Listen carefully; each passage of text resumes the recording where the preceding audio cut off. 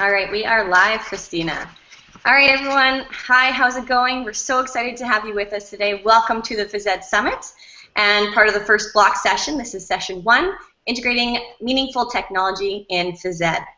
Uh, so thank you so much for joining us on this amazing journey. I am super, super excited to be here, and uh, I'm super excited to introduce Cristina, who is just an Energizer Bunny. The first time we met, I was so excited, and I was just like, yay! I was like, people call me an Energizer Bunny because I'm always going around crazy. I was like, but I was like, I can I can tell that Cristina and I are going to be super super good friends because we're, we're quite a bit alike. So I'm super excited to introduce her to you. But before we get to Cristina, we just have a couple um, housekeeping things that I want to talk about. Um, so we are putting four sessions live at a time through a Google page. So we're hoping we don't get kicked out. We're not sure. We haven't tried this. Well, we, we attempted it kind of. So we had two sessions going at once, so we're hoping we don't get kicked out. So if we do, please just be patient with us. We have a backup plan, and then we will put the new link onto the conference program. So please just check that out. So first and foremost, we'd like to thank you, the participants, for taking the time to attend the summit, and uh, for Andy Vasily for his amazing, amazing keynote. I was very, very inspired, and I was doing a head nod like this the whole time. Like my neck's a little bit sore from it. So thank you so much, Andy. It was very, very inspiring, and was a great way to kick off the, the Summit. We would like to thank Spark PE for their sponsorship of the Phys Ed Summit. Spark is a research-based organization. They partner with the San Diego State University and are a strong supporter of online professional development. You can visit their website, sparkpe.org, to learn more about teacher resources, on-site workshops, and different content matched equipment. Quite neat stuff. Also, Spark has graciously, which we're very excited about this, they've graciously donated um, a couple items to our participants today. So how this works is when you fill out the, so at the end of the session, I'll put a link um, at the very, very end or a little screenshot up, and uh, it'll have a link to our conference survey. So just tell us kind of how we did, how it, how it was, what sessions you enjoyed, etc. So um, we'll have a link up there, and then we're going to choose four lucky um, participants that participated to win the following prizes. So one person will win one Spark Dance DVD, one person will win a digital physical education program, one person will win a Summer Institute registration, which is pretty fantastic. I think it's worth $439, so thank you so much, Spark. And then another one will be a $150 gift certificate to the Spark store. So um, we'll push out the, the survey right after each of these presentations, and uh, those who complete the survey by Halloween um, will be put into the draw. So please stay tuned for more information about that this upcoming week. Also, in order to receive your PD hours or certificate, if you need a certificate for these two PD hours or PDUs, um, again, you fill out that survey and you'll automatically get uh, a link to your certificate. It'll automatically be emailed. If for some reason you fill it, the survey out and you don't get an email, just please let me know and uh, we'll make sure that it's working for you. And all right, so I guess maybe I should have introduced myself. I'm Naomi Hartl, part of the, the PHYSEDagogy team as well as the Phys Ed Summit team. Um, and yeah, some of you know who I am. You're not here for me. You're here to, to listen to Cristina. So Cristina, I'm pushing it off to you. Awesome. Thank you so much, Naomi, and thank you for all of the work you've done uh, the past few months to make this happen. So thank you for all of that. Okay, so today I'm going to be talking about um, integrating meaningful tech in PE. Um, so I'm going to share my screen in just a second. All right. Naomi, can you see my screen okay? Yes, sorry, I muted myself. Yes. Oh, no, not yet. I can see you.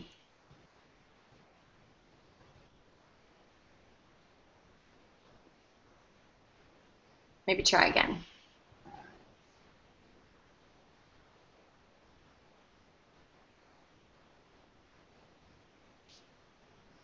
Is it not working? Uh, I think we'll, we'll try this last time here. If not, we'll just have to go off the screen that I'm using. Sure. All right, so for some reason um, it's not going into present mode. Um, I'll try again in a little bit, but for right now, um, we'll just go off the screen that I'm using. Um, so this picture right here is something that actually Naomi tweeted out a couple days ago, and it really resonated with me. Um, the second that I saw this picture, I thought uh, about an Instagram picture, a quote that was on Instagram that said, "Life begins at the end of your comfort zone," and this is kind of how my journey started. When I first started um, teaching, I kind of stood in my comfort zone. I played it safe. I didn't want to integrate technology because I was afraid. Um, but the second I started integrating technology slowly, it has transformed my classroom. It has transformed me as an educator, and it most importantly has transformed my students. Um, so really going out of your comfort zone, it, it really will have such an awesome impact um, on your classroom and your students. So my hope today is that you can take one piece of information that I'm presenting today and implement it in your classroom um, and just try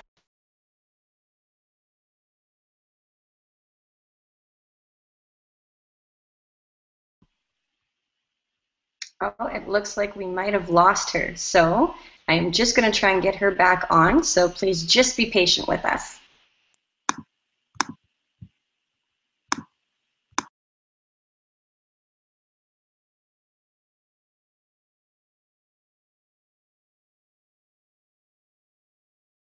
having the curriculum drive the use of technology. Sorry, I'm just going to stop you for a second. We just we lost you for a little bit there. Um, so you're back, back now. You're back now. Yep. So I can't remember where you left off there, but maybe go back about two minutes. oh, and now I can see the screen. Now it's being shared. All right. All and it right. might be because right, cool. we have. I think, do you have my screen and are we good now? I can see myself. Yep. Can you see my paused. Can you see my screen? Yes. Perfect. Um, okay. Uh, did you get the part where I talked about just my comfort zone? We. Yes, got that okay. part. Perfect. Um, so uh, I think the most important thing is to start small. So having a goal that you want to achieve each year within technology. So maybe you want to do a flip classroom or a flip type of digital learning and just start off with a few lessons and then slowly start reaching further and further. Um, curriculum drives the use of technology. I think it's very important that whatever you're doing, it should be, the goal should be student learning. What are students getting out of that use of technology? It should be enhancing their learning. Um, it should be keeping them engaged and you shouldn't be implementing technology just for the sake of I want to just implement technology, so I'm going to let kids bring their phones to class. It really should have, be meaningful and purposeful. Um, I try to implement technology to maximize activity time. Um, our program where I teach is, is fitness based, so my objectives are always to try to maximize as much activity time as I can. And two important questions that I ask myself when I'm implementing something new or a new type of technology is how will technology enhance student learning? And will it give them a deeper understanding of the content? So that's something that I use as a guide on implementing tech. So the first thing I want to go into is uh, the PE Flip Classroom. Um, we have a pretty lengthy curriculum um, within our within our school district, and I wanted to find a way to, to deliver the information to the students um, digitally. So we weren't taking a lot of time out of class to just go over some some things that I felt that they can learn digitally. Um, all of the concepts are reinforced in class, so everything that they are learning digitally is also being reinforced in class, but through activity. So if we're talking about um, skill-related fitness components, um, the students are the students are going into activities where they're doing, but they're learning about agility, they're learning about uh, balance, they're learning about uh, power, all of those types of things but then they're also going on to um, our digital um, lesson in learning that material. So it's being reinforced in two places, but it's being reinforced in class as far as activity, and then on BlendSpace, which is where we, uh, the platform that we use to deliver our digital lessons. Um, so BlendSpace basically allows you to consolidate all of your files. So basically any files you've used, um, whether they're videos, PowerPoints, um, uh, Google Documents, links, anything can all go on BlendSpace. Um, it allows you to create engaging and interactive lessons. Um, and the most important part, it allows students to move at their own pace. Oftentimes in PE, our students um, are such diverse learners. So this gives students an opportunity to go on to the digital lesson, learn the material at, that, at their pace. Um, so usually I give students about a week to a week and a half to complete each lesson um, which is great because some students don't always have access to um, the internet. They don't always have uh, laptops or mobile devices. So this lets them use our school resources within that period of time. So within BlendSpace, um, we uh, also include formative assessments and um, summative assessments. And I've been using Google Form on my BlendSpaces, um, and that's the aspect that I that I actually grade. Um, students will go through all of the different slides on BlendSpace, which I'll show you in just a second. And the last slide would be a Google form, and that's what students will, that'll be their assessment of learning um, that I will be grading.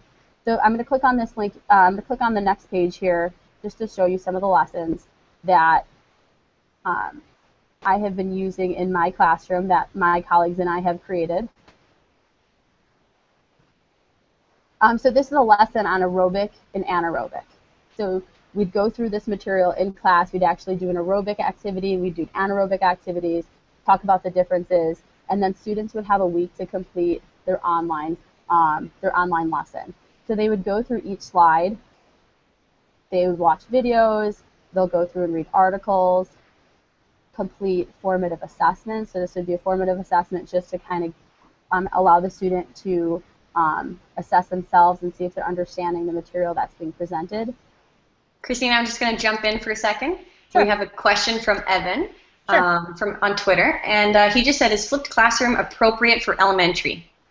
What are your thoughts? Um, I, I would definitely say that um, to an extent, absolutely. Like videos can definitely be, I feel like, beneficial for kids um, for them to see because they're definitely visual learners, they're interactive learners. So I definitely think to an extent, absolutely, you can put different pictures on there, you can put uh, videos, you can put maybe worksheets that you have, you can even showcase your students on BlendSpace.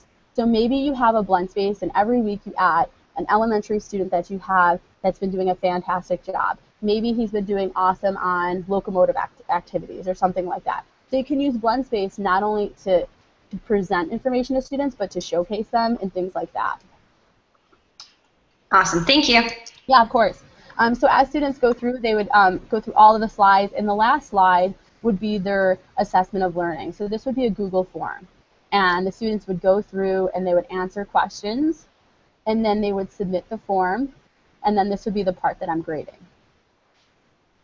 Um, we found that since we've implemented this uh, these types of activities, these, these digital learning, that uh, test scores have increased um, tremendously um, because it allows students to work at their own pace. They don't feel pressured. They don't feel um, like stressed out if maybe they don't understand the material. It also allows them to maybe Google something, a word that they're not familiar with. Maybe they're not sure about um, a vocabulary word. It gives them a chance to, to further, further their learning and, and do a little bit more research. Um, so I have a couple more lessons here, so feel free to click through them and, and check them out. Uh, Google applications. Within the last, we are Google school, and with the last few years, um, I've been implementing Google Docs and Google presentations and Google Forms um, on a regular basis.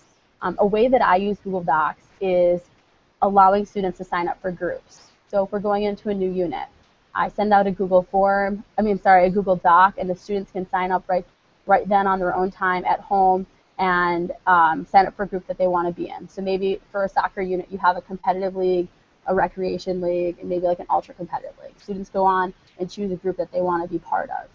Um, I also share Google Docs um, for homework assignments. So I might have a homework assignment and I'll send it out through the Google Docs. Um, they'll complete the assignments and then share it back to me so then I can then assess them.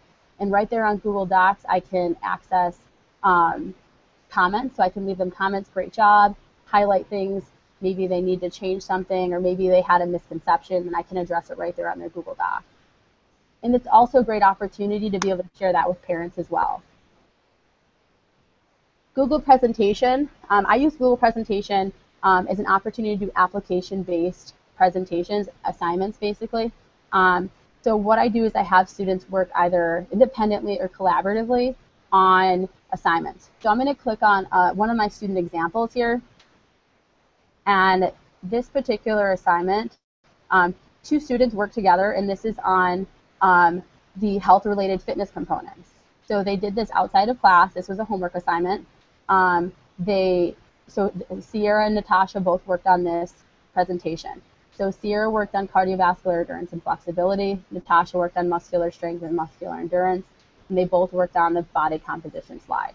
So as you go through the slides, they basically are covering information. And, and this basically is application based, and it's an opportunity for me to see their understanding of the material. And the really cool part about Google Presentation is I always have the criteria where students have to comment on each, on each other's slides. So they're peer assessing each other. So before they even submit the presentation to me, they have to go into each other's slides and say, hey, this is really great, or maybe we should change this around, or whatever it might be, and it holds the students accountable. Um, so I found that the students really enjoy these activities. It allows them to draw their own student interest as well. Um, on this next example, it's a warm-up cool-down activity, and I allowed the students to choose any sport that they wanted to do.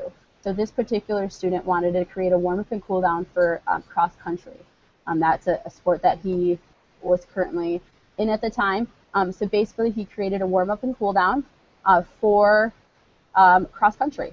And some students chose soccer, some students chose tennis, or whatever student interest that they had. And by making it more meaningful, this really increased their test scores when we had our final assessment um, on warm up and cool down.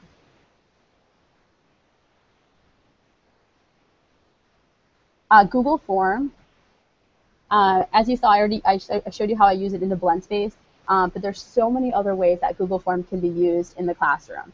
Um, you can use Google Form um, by giving assessments. So you can have not only assessments, but you can do it by polling student interest.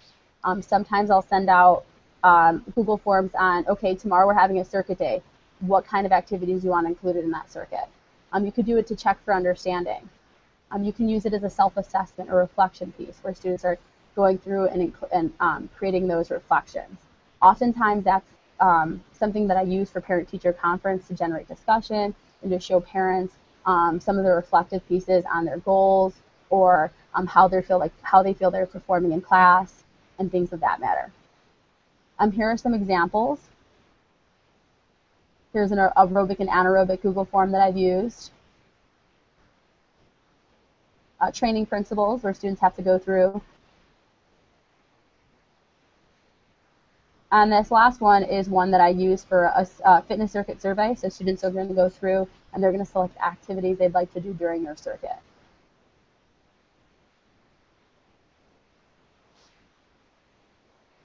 QR codes. I recently, within the last few years, have started implementing QR codes, and it has been a fabulous journey. Um, that you've already seen them on my screen so far. They're those little squares. Um, they're super easy to use. Um, you can create them in seconds. Um, it's totally free to generate QR codes, which is awesome. And you can basically share anything. You can share websites. You can share assessments. You can share videos and worksheets. Um, a whole lot of different things that you can share um, which makes it really awesome, especially in PE when we're limited on time um, if we want students to access information quickly and efficiently. I've also uh, been able to add um, Google Forms into QR codes so students can scan the QR code and it brings up an assessment right away, um, which has been really great. And right here at the bottom, I have two different um, QR code generators that I've used, um, if you'd like to check those out. Um, so a couple ways you can implement QR codes in PE is creating a scavenger hunt. Um, that I've done that in my class. It's been really, really advantageous for the students. Um, they can quickly access videos. Um, we have a dance unit, and traditionally we were using laptops for students to access videos and to learn these dances. So instead, I created a, a QR code sheet where students could quickly just scan the sheet, and it had the YouTube video right on their phone. So they didn't have to fuss with logging into the computer didn't have to fuss with the battery being out on the laptop they're using or um, them not being able to log in because everyone's trying to log in at the same time and things of that matter. Um, so right here on this QR code is just an example from my dance unit of how I use QR codes by implementing a QR code sheet. The students would just go in, they can scan it, and they can it'll bring them to an instructional video on how to do the wobble, how to do the cha-cha slide, how to do uh, Beyonce Move Your Body and things of that nature. And the students loved it because they got to bring their cell phones out to class. Um, I loved it because I wasn't spending time having the students log in, which could take, you know, 10 minutes just for them to get on their computers. Um, it was great because some of the students wanted to have their cell phones right in front of them while they were learning the dance. So that was really great, and, and the students enjoyed it. While you're just pausing there, um, we had a question on today's meet. Sure. Um, they just asked if you've ever used augmented reality, like the Aurasma app or DAQRI. Have you ever done any of that kind of stuff? I have not. I have not. Um, I'm not. I'm not really familiar with either of those apps, so I'll definitely have to check them out. Mm-hmm. I can talk to that a little bit later too if we have a little bit of time. Yeah, I've kind of dabbled in it a, a tiny, tiny little bit, but Sure. so there's the answer to that question. But we'll try and talk about it later if we get a chance. Great. Um, so these next apps I'm going to talk about, um, I pretty much use most of these um, on a frequent basis. Uh, the first app is Seconds. I highly recommend using this app. Um, you can get it on the Android market. You can also get it on the Apple market, the Apple um, iTunes Store. It is they have a free version, so if you want to just try it out, try out the free version, and then it's like $2.99 for the uh, full version. Um, basically, it's a programmable interval timer. So if you're doing a, let's say you're doing a, a HIIT workout, you can set a song specifically for your high intensity um, workout. So let's say for your high intensity, you're going to have a song.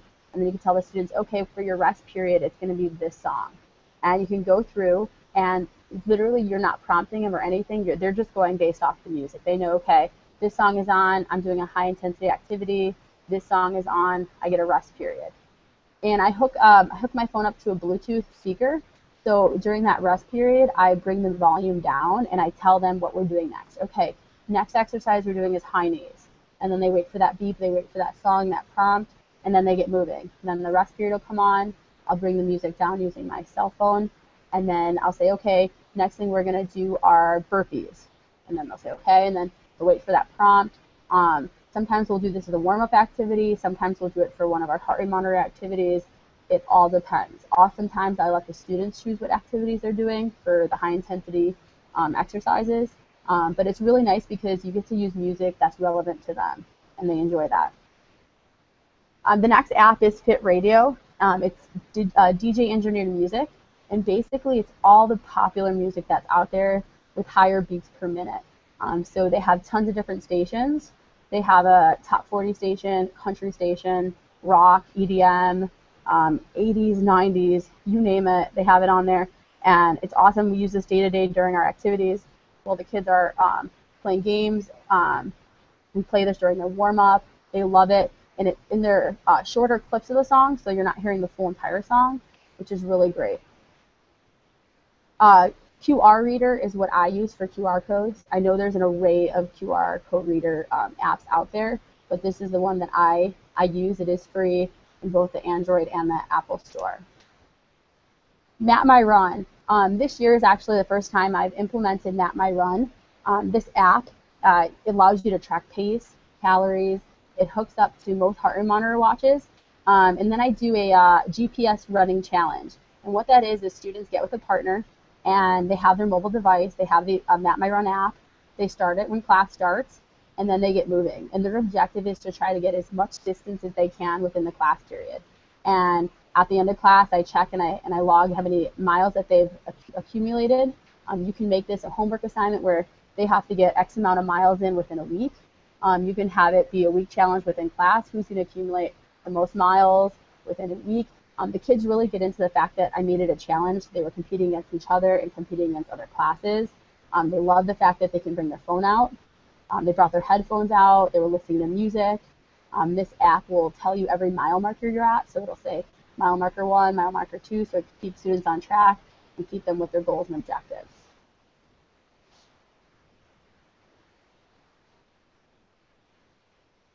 Uh, what's your farm star, guys?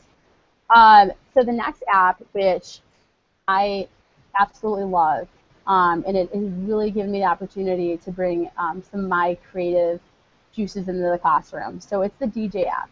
Basically, this app allows you to record um, music from your library. So it allows you to mix songs that you have within your um, cell phone library.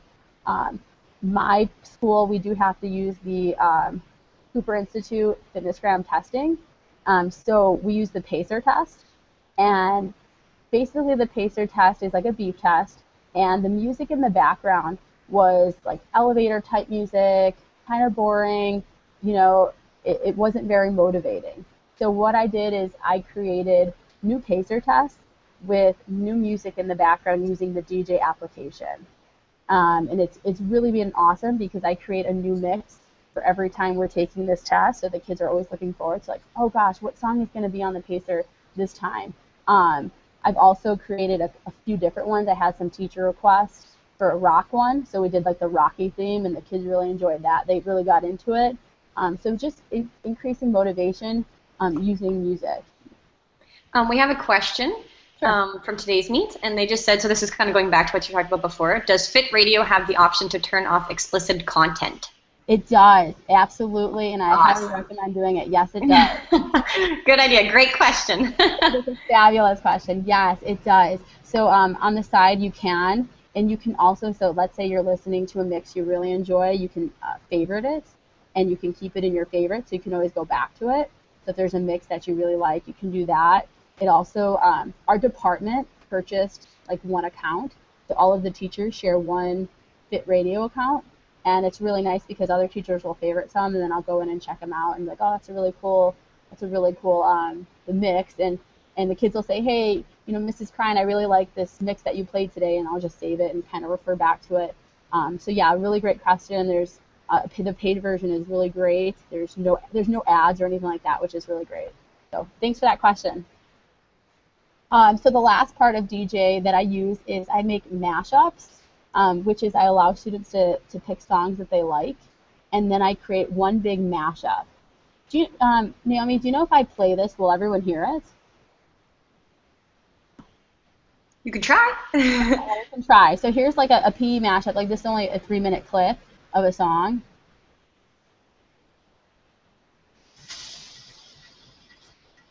Naomi, are you hearing that? A little bit, yep. Yeah, we can hear.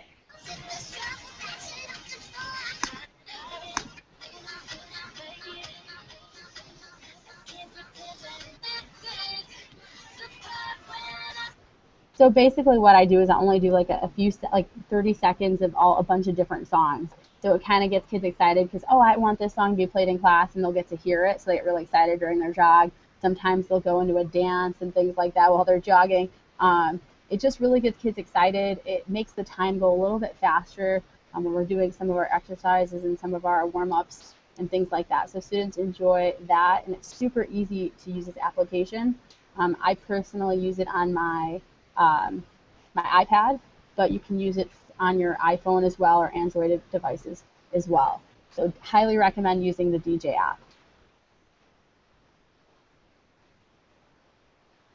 MyFitnessPal um, is something that we use in our junior senior classes. Um, it allows you to track um, your calories based on all the meals that you eat.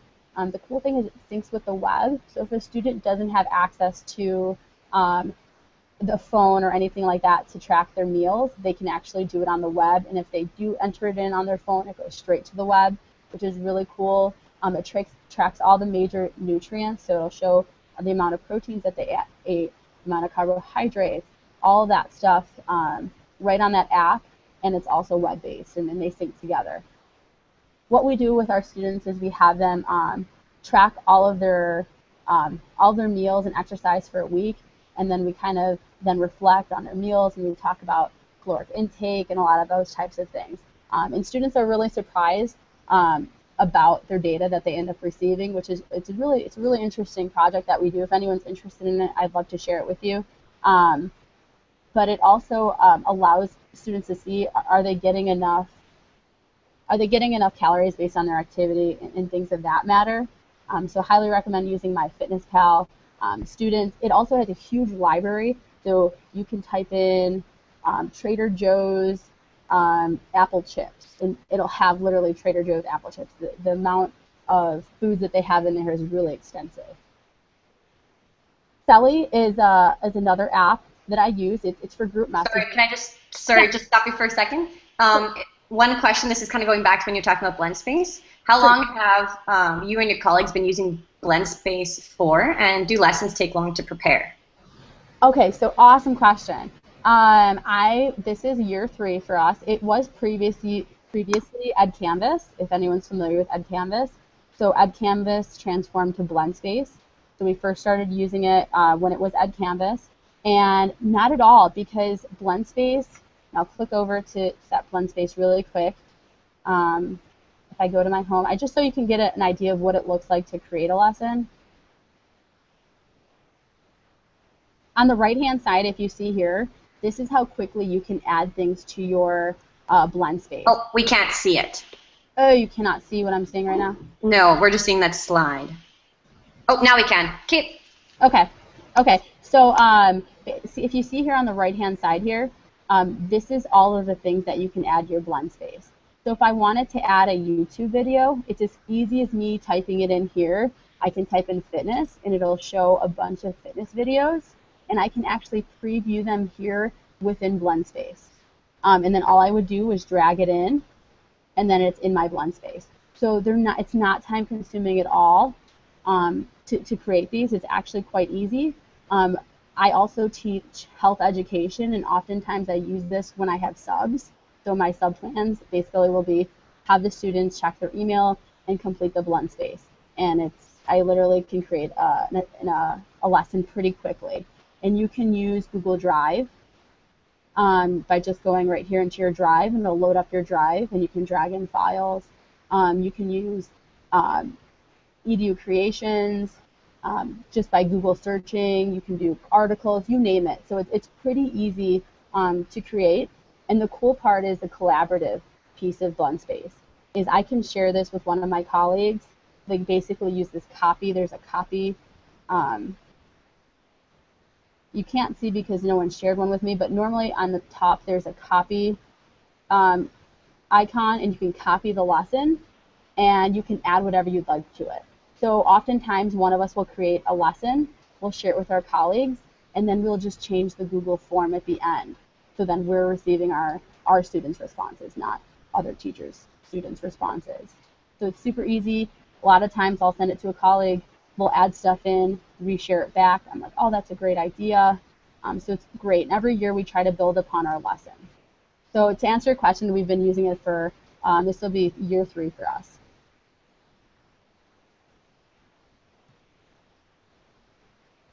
Okay, so um, back to talking about some of the apps that I use in class and um, in teaching is Celly is a great app. It's, it's used for group messaging.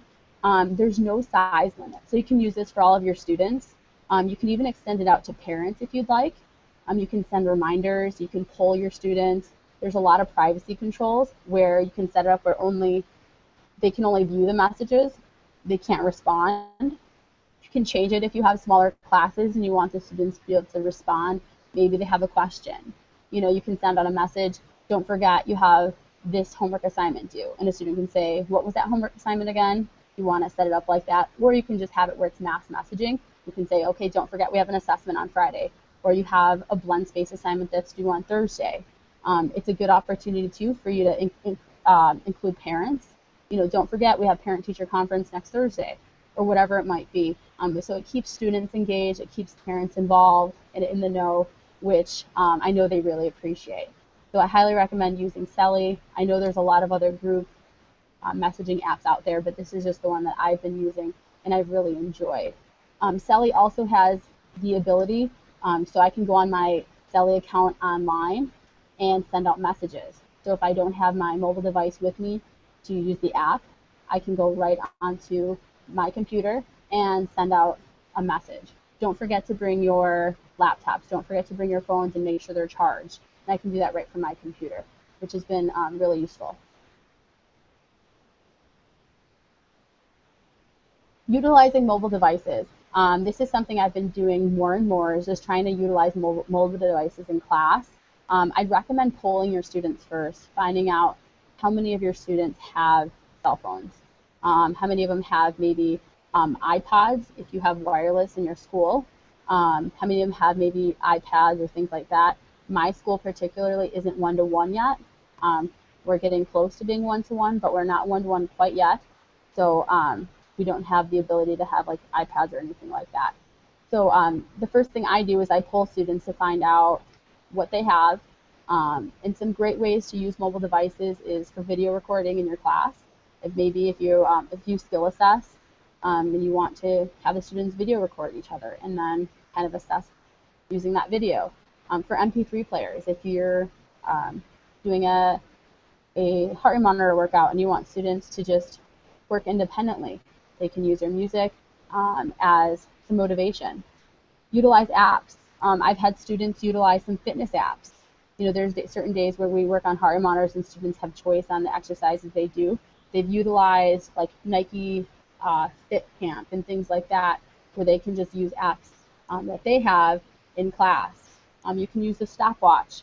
Maybe you don't have heart rate monitors quite yet. You can do that to maybe have the students get their exercise heart rate. Um, maybe you want them to, to find the resting heart rate um, and things of that nature. Um, you can also use mobile devices as assessment tools, you know, by whether it's QR codes, whether it's you're emailing them a, a Google form or things like that. So there's always opportunities to use mobile devices in class. And something um, I often tell my students is that it's important that they're using the mobile devices the way that they're intended to be used for that day. Um, so I don't let students just bring them out to class every day. I have to give them permission for that day, and then they have to use them for whatever reason it is. So if we're doing uh, Map My Run GPS challenge, that's the reason that they're using them. So they're not going to be using like Snapchat or texting and things like that. And usually, if they do do that, then they lose the opportunity to bring them to class. And I honestly haven't had any issues where students weren't on task. They're just really excited to use them and to be engaged and, and to have them out. So um, I haven't really come in, in any issues with students not doing what they're supposed to be doing. The next, uh, the next technology that has really um, been beneficial in, an RPE program here is using smart technologies. Um, we don't have smart boards in our field house or in any of our facilities, but our other classrooms, other like our English classrooms and our math classrooms all have smart boards. So what we've done is we've gotten the smart program on all of our laptops, and um, we've used the smart response clickers. And you can see right here in the picture, and this is what they look like. Um, we hand out assessments, and the students respond using these clickers. And right when the student responds, we get it right to our computer, so it's instant feedback. Um, we use this for formative and summative assessments. Sometimes I use this as like a, pre-assessment. Students will grab a half sheet, answer the questions on their smart responders, and it goes straight to my straight to my laptop, and I and I can see um, what their answers are. And I really like this because it's instant. Right then and there, I can address misconceptions. Maybe a lot of students got number one wrong, and then I can kind of address: was it a poorly, um, was it a poor question? Did I not go over that material well enough? Um, or for whatever reason, I can address it right then and there. Um, it lets me track data and student performance. So each student has a profile um, with the Smart Responder. They put in their school ID, and then I can track all of their assessment data throughout the whole semester, um, which has been awesome because I can kind of um, see, well, maybe a student has been performing well in all these assessments, but they didn't perform too well in this assessment, and I can have that conversation with that student um, whether maybe it was the, the actual assessment or the content or whatever it might be. Um, it's a great tool to poll students. Um, it's super easy. The students just type it in and then it comes up on the board if you choose for it to come up through a projector and you can see um, um some of the students' responses.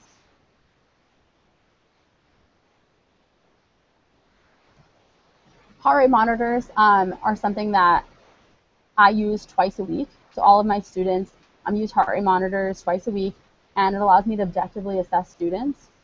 Um, each student has a uh, individualized target heart rate zone based on their fitness level. So I use the Karvonen formula. So each student, based on their resting heart rate, um, is given a target heart rate zone, which is between 60 and 80% of their max heart rate, and that's their target zone. So whenever we do heart rate monitor days, that's the student's objective. Um, it's awesome because it ensures that students are working within that target heart rate zone, um, it allows them to exercise safely. They know if they need to increase intensity.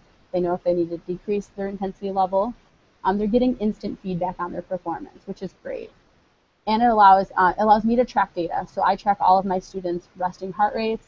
Um, I track all of my students' exercise um, averages. So after their workout, after a 30-minute workout, I'll record what they were at after that workout. And this is great conversation for me when I parent-teacher conferences. I can show you know, the changes in the resting heart rate, if there are any changes, and I can show their parents you know, what all of their exercise um, exercise averages were throughout the semester or whatever it might be. So it's really it's awesome. It's great for the students. It's great for the parents to be informed on their students' performance and their fitness level.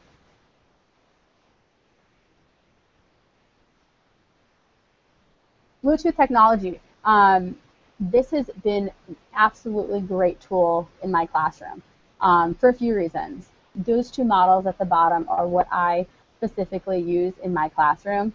Um, it's the Ion. If you click on it, it actually sends you to the Amazon in case you are interested in purchasing um, either one of those speakers. Um, but it allows you to hook up straight to your phone so you can increase volume and decrease volume so you're not having to yell over uh, music. You're not having to use remote control to change music. You can do it straight from your mobile device.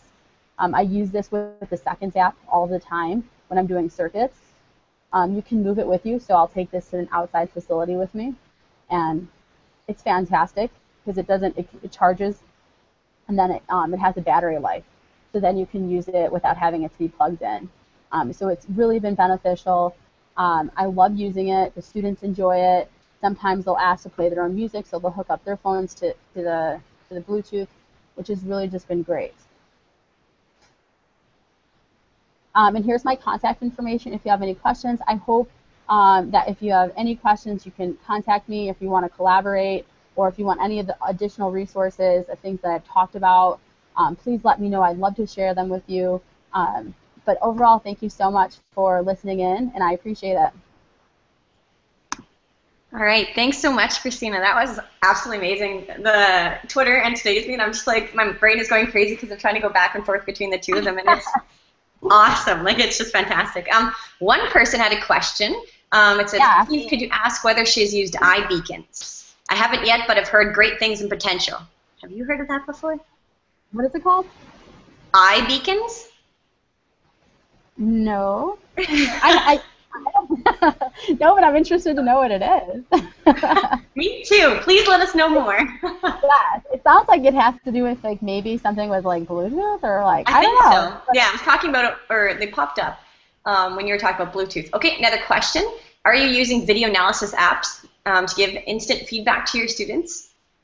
I am not. Um, our program here at the school that I teach at is uh, fitness based, so we don't do any skill assessment. So all of our assessments are um, basically using heart rate monitors, and it's also um, with our cognitive type assessment, so with our curriculum and things like that. So we don't do any video type assessment on skill. Gotcha. Uh, another, question, well, I guess more of a comment. Um, so Eric on Twitter just said, um, you know, amazing stuff trying to think of how to translate to elementary level. Um, I teach grade, well, I guess the lowest that I teach is grade three. Um, and I use like Google Forms and QR codes and all that stuff with my grade threes. Like, I mean, with them, you do have to really kind of, I don't want to say train them because we're not training our kids, but you really have to get them to, you know, you practice what you what you do, right? So you have to take time to set it up with them. But once they know, they know exactly how to do it. Like I've been very lucky where I teach, we have a lot of technology in our school. We're fairly close to one to one. Or if I want you know, any type of technology it's available to me.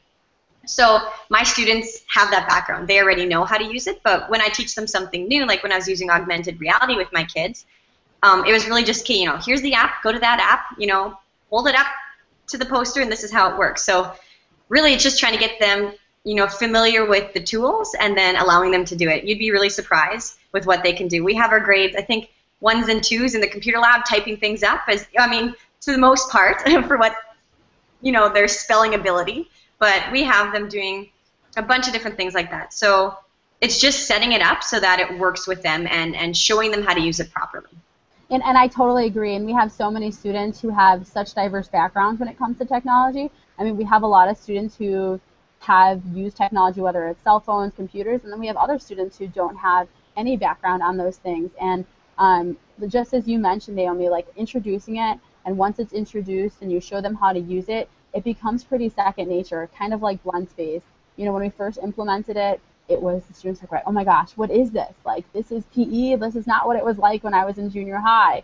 And now it's so second nature. I'm like, okay, guys, you have a BlendSpace anaerobic and anaerobic due on Friday. And they're like, okay, got it. Like, you know, so it's become second nature where there's not, you know, and not only that, I think it's important too, like at least um, having students also like look up things and research things. So oftentimes students have questions, and I often prompt them, well, try seeing if you can find the answer and try researching it and seeing if you can find it. Because as you know, as professionals, that's how we learn a lot of things is researching and inquiry and things like that. So just having students build those skills.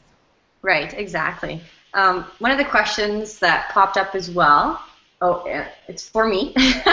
do you have your students bring their iPhones P? Some of them do. Yeah, we have iPads that we use, so I usually gather the iPads or laptops or Chromebooks that we have at our school, um, just because I'd rather them use that. Sometimes they try, they get distracted a little bit by texting or Snapchat, kind of like you said, Christine, right? But happens once, it does not happen again because, well, they know we're using it appropriately, right? You come to Phys to learn things. It's not just to come play games. You know, it's it's not. I'm not rolling out the ball and just saying, "Hey, go ahead. It's it's your day today. Whatever you want." You know, it's we have there's a purpose. We're learning something, and uh, so sometimes I have them bring their phones if I let them know ahead of time. But I have enough devices in my school that I don't need to do that. In some schools, absolutely. I mean, if, if they can use their phones and you can show them how to have a positive digital footprint, showing them how to use it in the right way and not just, you know, to text somebody, right? There's, you know, our phone, there's so, this is a mini computer in our hands. Like, how amazing is that, right? it's so neat. So why not show them the positive things that we can use it for? Not that texting somebody or Snapchat isn't positive, but in school, we don't need to use it in school. So how can we show them how to utilize that tool in a, pro- in a proper way for a school setting? So um, I tell them, if I tell them to bring it ahead of time, then they can.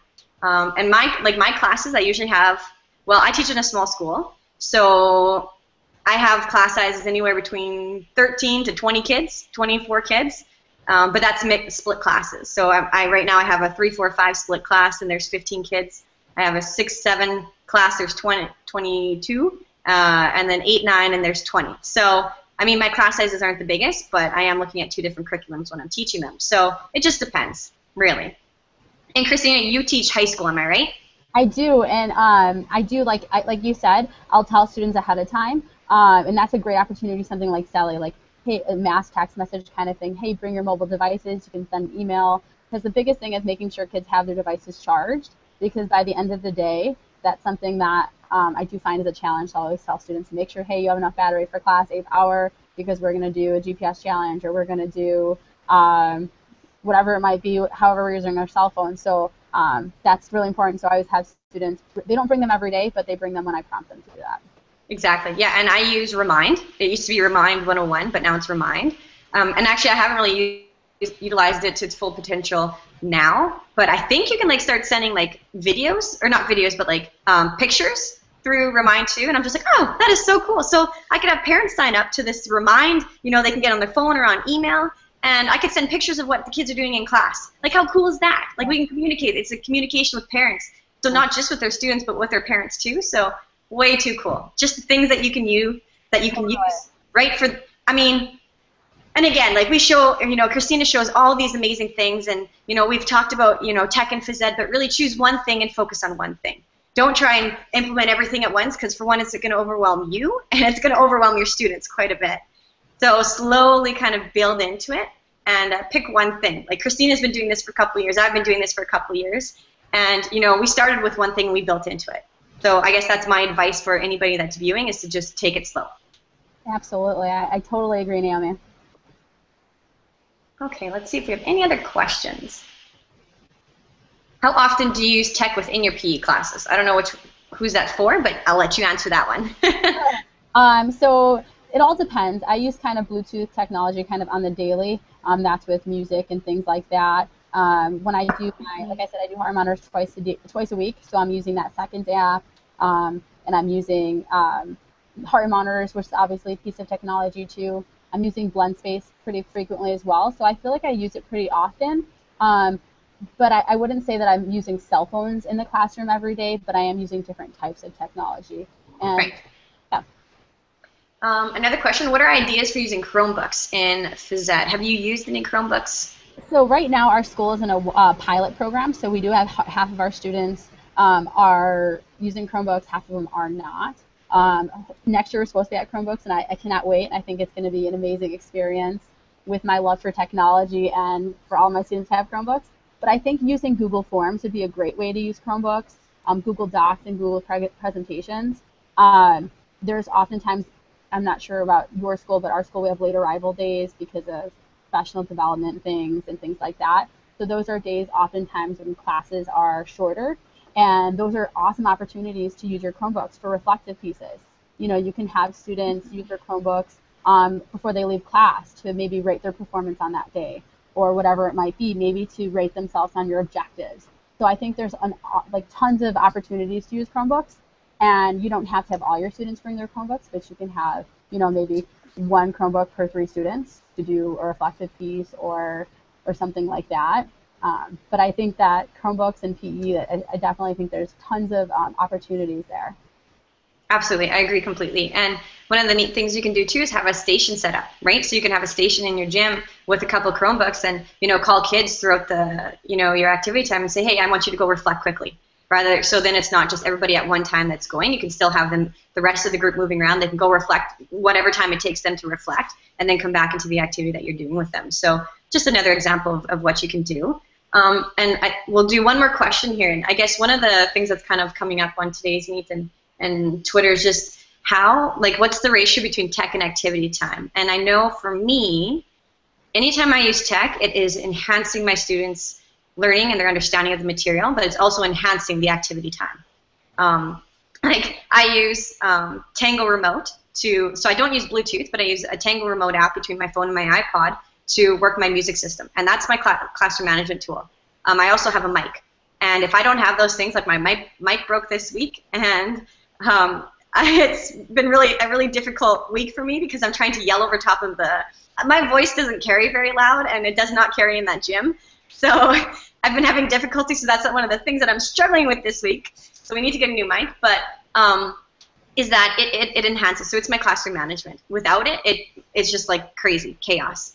Um, so for me, it, it enhances our student activity and it enhances their learning. So if, if it takes away from the activity time, then it shouldn't be implemented. And I mean, I've tried things and it has not worked and it's taken away from the activity time and I go back and I reflect. We make mistakes and we, we learn from those mistakes. Um, but you know, it, it, makes you better as you go through it too. So there's gonna be times where you try it and it bombs, it fails, and it, you're just like, oh, that was terrible. Like, what? I can't believe that happened.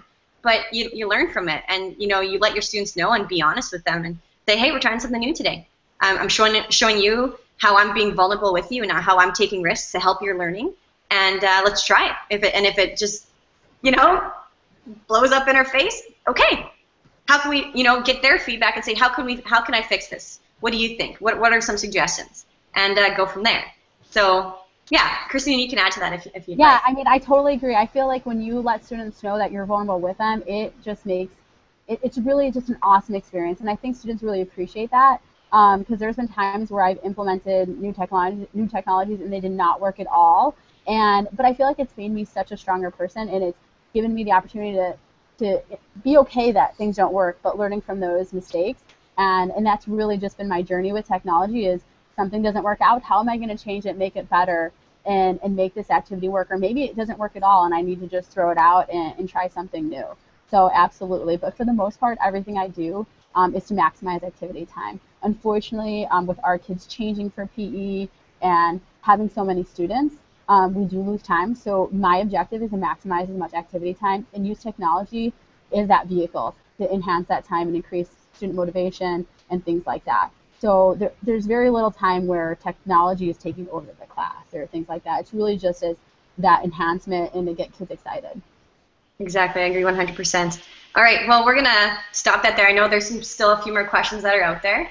Um, but you can continue, you know, checking out TodaysMeet and Twitter. And and it, the one thing that I was really excited to see on TodaysMeet was people were, you know, they're asking questions and other people were jumping in and helping out because I was just like, oh, I can't answer all these questions. But it was fantastic to see the collaboration, and that's what this is all about. That's what the Phys Ed Summit is all about. That's what social media and the online Phys Ed community is all about. It's you know, sharing is caring, and collaboration and connecting is amazing. Like this has just been a fantastic experience, and I just want to say thank you so much, Cristina.